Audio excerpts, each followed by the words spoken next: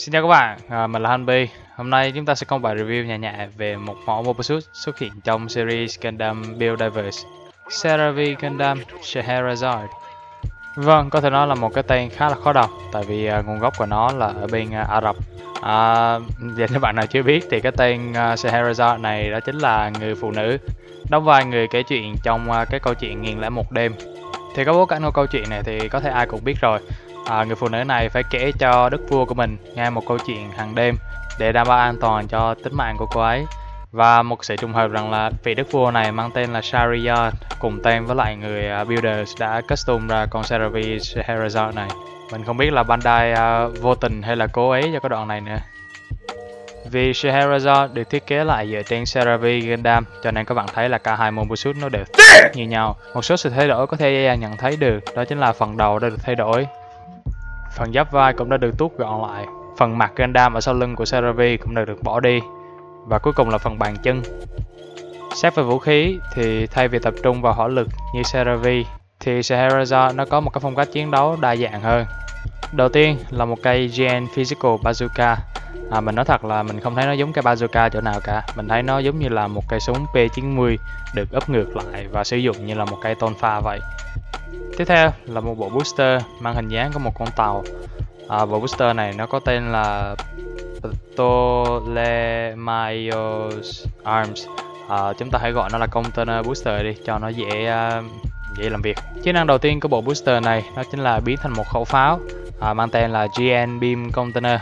Và nếu như muốn trưng bày ở chế độ này thì các bạn nên mua thêm một cái bay ở bên ngoài để hỗ trợ cho việc trưng bày. Hai chức năng tiếp theo của bộ booster này, đó chính là Gene Mode và Ifrit Mode.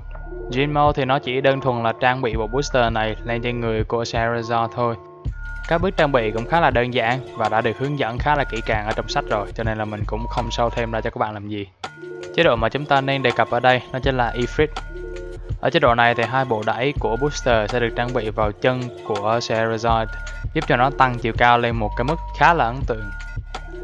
Đây là so sánh chiều cao của Ifrit Mo với Amazing Strike Freedom, ngựa, Murder Zigok, Murder Stabil Strike khi đứng trên base, và cuối cùng là Base Lord Regulate. Tiếp theo là hai cái container ở trên bộ booster sẽ được sử dụng để biến đổi thành Claw Container, có hình dạng như là một cái bộ móc, và có thể dễ dàng đoán được rằng nó sẽ được sử dụng vào trong cận chiến. Từ xưa đến nay thì cái concept à, backpack biến thành vũ khí nó cũng phải gọi là xưa như quả đất rồi, chung là nó cũng không có gì mới mẻ cả nhưng mà riêng cái bộ à, container booster này thì nó lại thêm thêm cái chân nữa, cho nên mình thấy nó cũng à, khá là thú vị. Và một điều thú vị hơn nữa rằng là mình nghĩ trong đầu là, kiểu, cái, với cái bàn chân nhỏ tí này và cái chiều cao của con CeraVe này à, nó sẽ làm cho con Gundam tương đối khá là mất thăng bằng. Nhưng mà chả hiểu sao mình lại thấy nó khá là dễ để giữ thăng bằng cho con CeraVe Gundam này thành ra nó cũng không tạo cho mình cảm giác khó chịu khi mà dùng cái chế độ này cho lắm. Cái thứ hai là nó cực kỳ ăn ảnh luôn mình lại chả hiểu vì sao rồi. lúc mà mình à, chụp cái con CeraVe Gundam này với lại con Amazing Strike Freedom của mình á thì à, cái màu của con CeraVe này lên hình rất là đẹp nó rất là ăn màu với lại cái studio mà mình đang sử dụng. Còn ngược lại thì con uh, Amazing Strike Freedom thì màu nó sai từ lưa cả nó phải nó gọi là tre một trời một vực luôn á nói về nhược điểm thì nó cũng chỉ có hai cái nhỏ nhỏ mà mình có thể chỉ ra thôi. À, đầu tiên là vì bé Charizard này sử dụng uh, cái uh, khung của con CeraVe Gundam và bộ khung thời này nó cũng chưa gọi là hiện đại hóa như là bộ khung bây giờ cho nên là chúng ta vẫn có khớp háng là khớp cầu. Cho nên là chân nó sọt không ngon cho lắm thôi. Sticker sử dụng cũng tương đối khá là ít thôi chỉ có một cái mảnh màu trắng được sử dụng để tạo màu cho cái đầu của bộ booster. Còn còn lại thì trên con Gundam nó chỉ dán mỗi cái vi-fin không sử dụng tờ sticker này cũng chả làm sao cả. Nếu như mà bắt mình phải kiểu chỉ ra thêm một cái lỗi nữa thì mình sẽ chỉ nói là cái vụ biến hình của bộ booster cần phải sử dụng tới à, những cái chi tiết rời. À, cụ thể ở đây là runner J12, pass số 6 và pass số 9 khi nói về biến độ cử động chúng ta có đầu và cổ trên hai khớp cầu. Cho phép các bạn nhìn lên được như đây và nhìn xuống được như đây vai trên một khớp cầu và có thể gặp tới phía trước. Giáp vai cố định với lại cánh tay. Cánh tay đẩy ra ngoài. Bắp tay xoay và tay gặp trên hai khớp.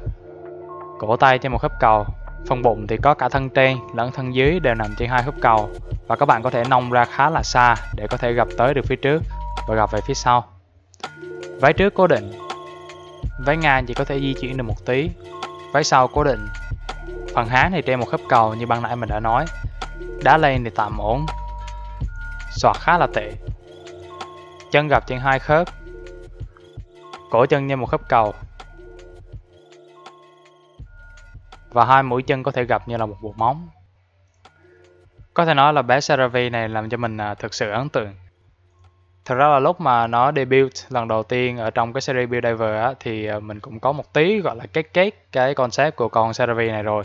Nhưng mà nó vẫn chưa thực sự ấn tượng đến cái độ mà mình phải bỏ tiền ra để trải nghiệm à, thực chất là lúc đó mình nghèo vãi nồi ra mãi cho đến bây giờ lúc mà anh Quang cho mình mượn à, con CRV này để trải nghiệm thì mình thực sự thấy là khá là hối hận tại vì ngày xưa không chơi con này Đánh giá thân điểm thì mình sẽ cho con CRV Scheherazade này một con 9 trên 10 và đó là tất cả những gì mình muốn nói cho bài review này. Nhớ bấm đăng ký và bấm cái chuông để tiếp tục theo dõi những cái bài review mà cây mình làm. À, hẹn gặp lại các bạn vào clip sau.